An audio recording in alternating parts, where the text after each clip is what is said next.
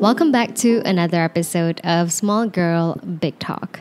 So, I recently asked ChatGPT to give me a good description of my podcast. Like, I actually inserted the link to my podcast over there so that it can study the past 50 episodes and everything that I've written and recorded.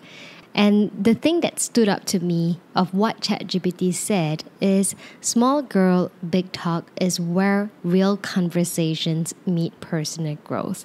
And I love that description because I think it really describes this platform perfectly. Like when I created this podcast, I honestly didn't know where was I headed, but 50 episodes later and you know getting inspired every single week for different topics, I think that's pretty much what we are doing over here. I know the overarching theme has always been about adulting, like talking about life experiences and how we kind of navigate our own journey. And the whole intention is really about bringing comfort in your adulthood journey so that you feel a little bit less alone and that's like I mean like that's what I have been feeling about this podcast. So I just wanted to share a little bit about that. If you are new to my podcast, hello, I am Wendy. I am your host. This is my safe space on the internet, and this is where real conversations meet personal growth. So, today I want to talk about finding your people and specifically about how community is able to help us to really elevate our personal growth journey.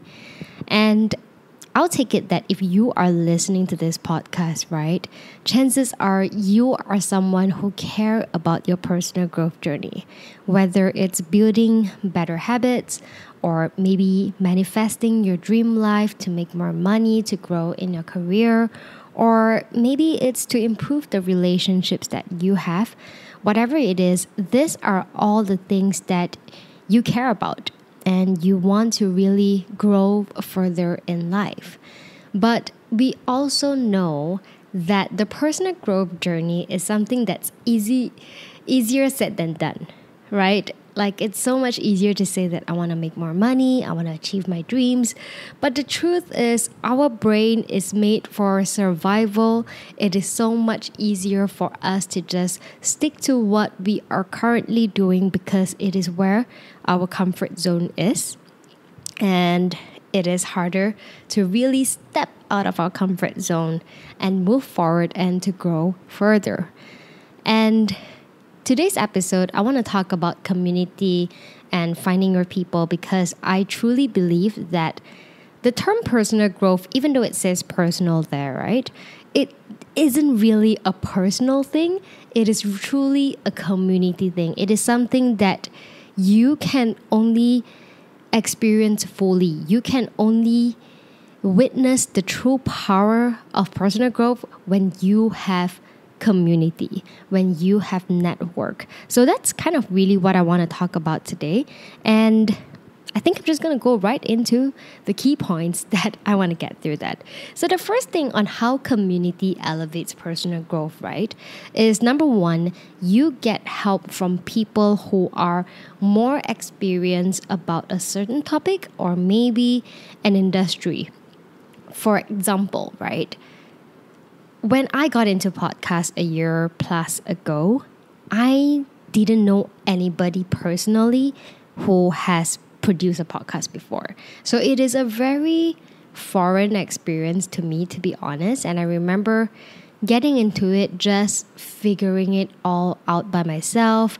I mean, I'm very grateful that we live at a time where Google is around, ChatGPT is around, so there are a lot of answers that we can find ourselves through the internet. But one of the things that I did that kind of opened me up to a network of local podcaster was I found out about this um, podcasting event, like a Podcasters Day Asia event, thanks to another podcast friend from Singapore that um, shared the link with me. And she's like, hey, I think you might like this. And I was thinking, like, I really need to expand my network in the podcasting world because I know nobody. I I mean like in person, right? Like I have my podcast friend in Singapore, but she's an online friend and I was trying to meet more people. And I'm really glad that I bought a ticket and I attended the event and because it was through there that I actually got to know a lot of local podcasters that I am really grateful to be able to call them my friend now. Um, even though we all have very different niche or topics when it comes to our podcast, some of them are podcast producers, some of them work for like the advertiser side of podcasting world. And you know the the the ones that produce their own episodes like the indie podcasters they are like very different topics from mine. Not so much in a personal growth space um, there are some that does true crime. That are there are some that does really, um, how do you say this? Like casual topics. There are like movie podcasters, all sorts of different topics. Even though we produce different kind of things, the experience of producing podcast itself is similar. And I'm very grateful to have these friends to kind of give me tips on how I can grow or share with me what they know about certain tools or or you know, even like ways to grow their podcast and stuff like that. So I'm very grateful that I was able to find that community and you know there are other things in your personal life where you can also benefit by the fact that you have a community or a network that can help you. Um, you know, because people are just more experienced in that topic. For example, Kevin and I had this close group of friends where the other two couples in these groups are married. And I feel like because they are married or recently married, they kind of understand the experiences that we are going through and we are able to kind of connect better in that sense. So I feel like different areas in your life, when you have the right community, you are able to get the support to kind of get guided to get through life even easier because these people, they understand, they know, and they've been through that before. Another thing on how community is able to help you to really grow faster is that you are pretty much changing the conversations that you are having. For example, I have been growing in an entrepreneurial sense for almost, I want to say five or six years now. Actually, it could be a little bit more than that. Like, ever since maybe 2018, 2019, I've been starting to freelance. I've been trying to grow on YouTube, on my blog, and all this stuff. And it was back in 2019 when I got retrenched and I was really getting into the coaching industry. And I was also freelancing. Like, even though I was able to make money back then, right, I realized that I didn't know how to scale my business. Like, there were a lot of things that I didn't understand or I didn't know about businesses. And that was how I got somehow connected to my current workplace, my current employer, my boss, who is also a serial entrepreneur. And in my day job, I actually manage an entire community of entrepreneurs from around the world. And all that I can say in the past five to six years of my experience is that when you are getting into something that you are completely stranger to, like you really didn't know how things work. Like for me, I was coming out from university and going into being uh, like a normal day job employee, right? So that was the background that I have. And most of my friends and my family members are all just someone who takes a salary and get through life. I didn't really have a lot of people in my networks that are entrepreneurs that have grown their businesses before. So it was very helpful when I was able to assimilate into this community because the conversations that I have on a day to day basis really change.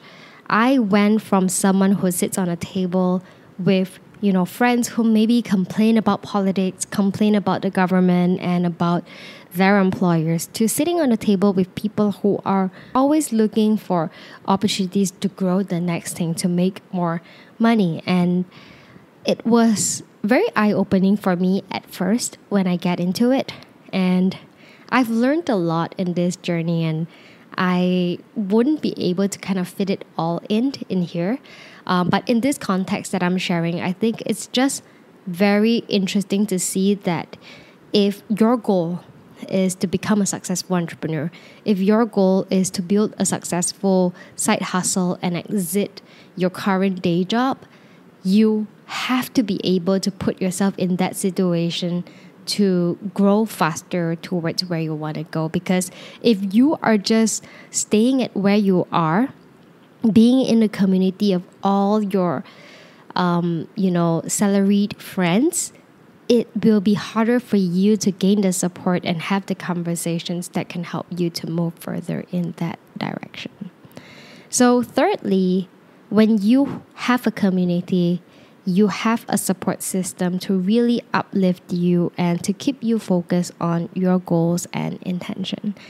And the example that I can think of about this is through my current new community that I am in, which is through my hobby of bouldering or rock climbing. So, I'm sure you might be familiar with a gym environment or other fitness or sports environment. And I think the nature of sport itself, it's always very encouraging because usually you have a goal, whether it's to beat your opponent in a badminton game or whether it's to hit a shorter time in running a half marathon, or it could be hitting your PR in lifting a heavier weight in the gym. So, sports in itself can be very goal focused and the people in the environment because everyone shares similar value in terms of like trying to achieve them they are generally very supportive and uplifting and there were so many times when i am in a climbing gym when perhaps there was a route that I just felt like I was too afraid to complete the route because it was going too high and I didn't believe that I could do it. Like, there were so many instances where strangers that I didn't even know would just be shouting from the bottom, like, you're just one step away, you can do it. And it really pushes me to achieve that goal. And I'm sure you know how great it feels when you get to achieve something that you thought you couldn't but you did and it was a very good feeling. So being in a right community can really help you to get that support system that continues to uplift you and cheer you on in your journey. The fourth thing that i want to share about is the power of reciprocity. And i feel like when you are in a community you would meet other people who share similar experiences. And you can grow yourself by watching videos from gurus or experts on social media, by attending classes or watching videos on YouTube. You can do that. But I feel like the most inspirational kind of person would always be that person who is very similar as you in your journey. For example, it can be quite motivating to watch a video of a very fit, muscular guy teaching you how to lift heavier weights, but it wouldn't be as motivating or inspiring than like say your friend who used to be 150 kg. He actually like worked out so hard and had shed like 50 kg of his weight and is still going on. Like it's always the people who feels most familiar to you who feels like an everyday person who then achieves that goal that you are also kind of moving yourself towards, like that is when things are really, really inspirational. And I think that's the power of community. It's not so much about like having an authority figure that is inspiring you or motivating you, it's really having a similar leveled person who is going through similar things. And when you get inspired by that person and you start moving forward, you will be the motivation or the inspiration to someone else who look at your journey and feel, hey, if she can do it, I can do it too. And this will create a ripple effect not just within the community but also beyond the community itself. And lastly, when you have a group of people that are kind of going through similar experiences as yourself, there is also the power of accountability as well. So it is easier for you to feel motivated to complete a task when there is that peer pressure, when you know that everyone else is doing that homework or that task that you are supposed to do as well.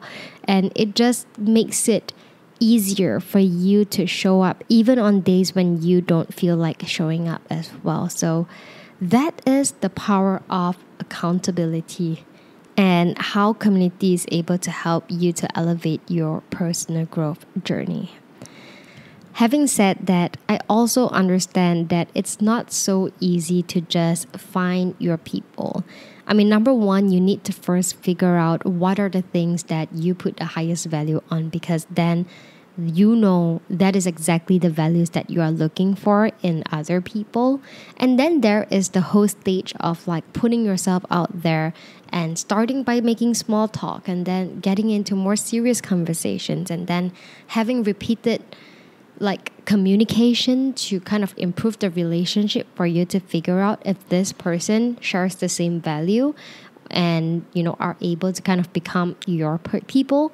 Like i know that it takes time and you have to put in the effort and it can be uncomfortable sometimes. But it really does make it easier if you are able to kind of just push yourself to get out there first. Like say you are someone who is I feel like the best example is always like say you are a salaried employee and you are trying to become your own boss. Like I feel like that is what a lot of people want to achieve today or they say that they want to achieve today, but they have not pushed themselves to do so. And I'm just going to take that example again, right? And I feel like it's actually not as hard as it, it as you think that it is.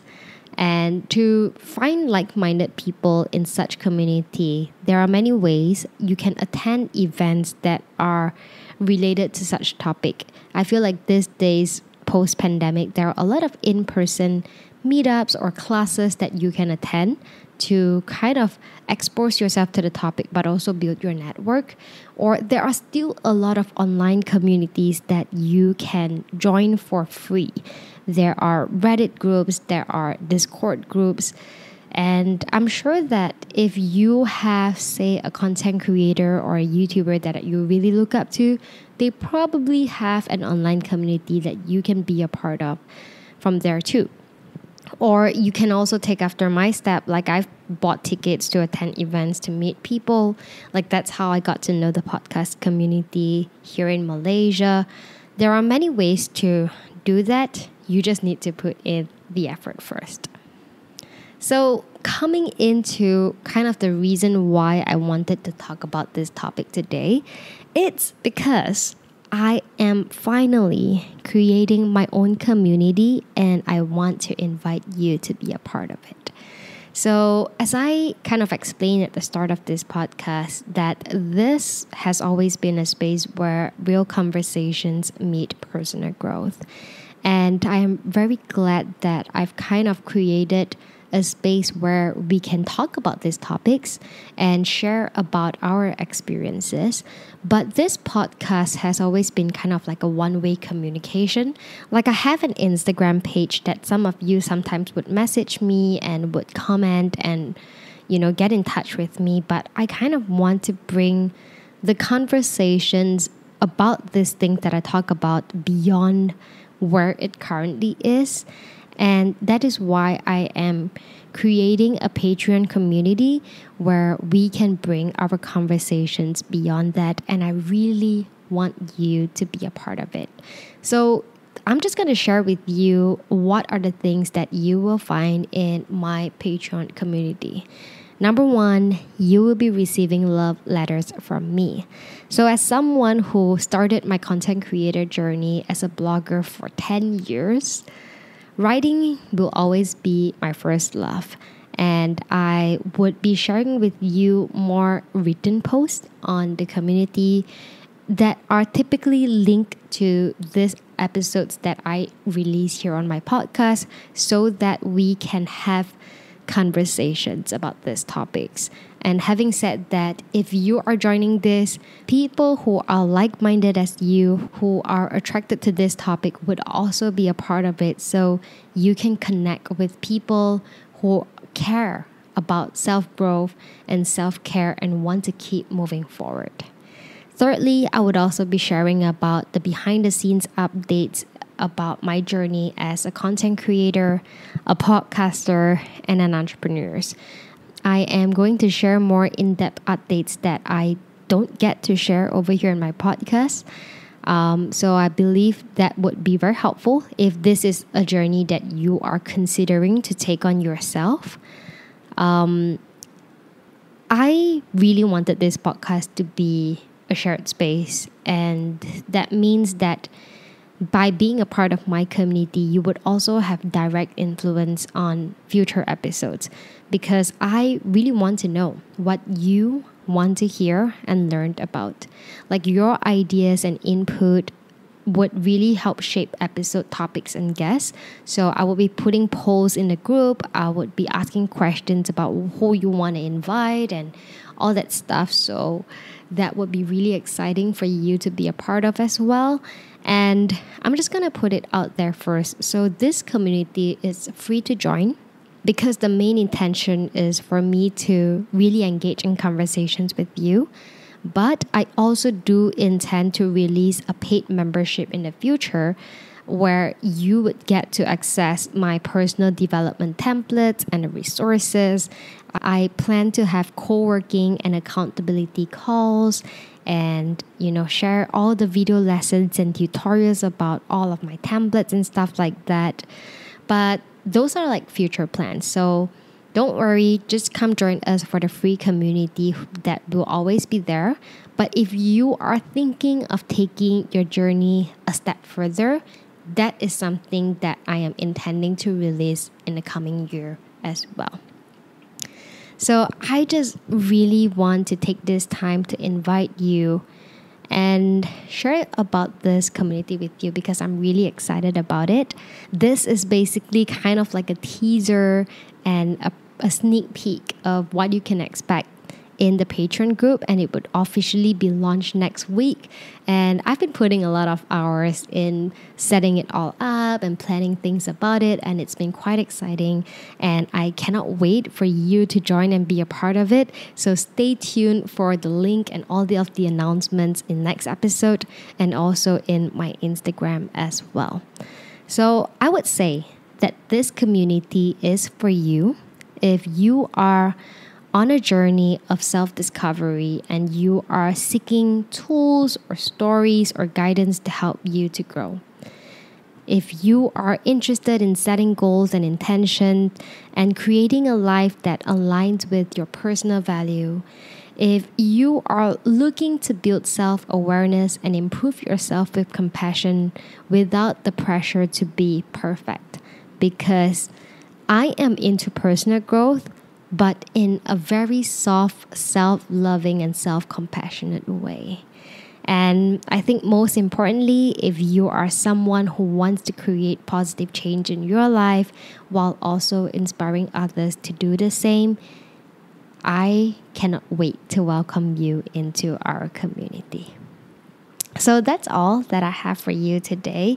It's kind of like a shameless promo that I'm having for my community, but I'm not even ashamed about it because I know that this is something that's going to really help both you and I even more in our personal growth journey. And I honestly cannot wait for you to be a part of the family and to really grow together with me. So that's all that I have for you in this episode, and I will see you in my next one. Goodbye.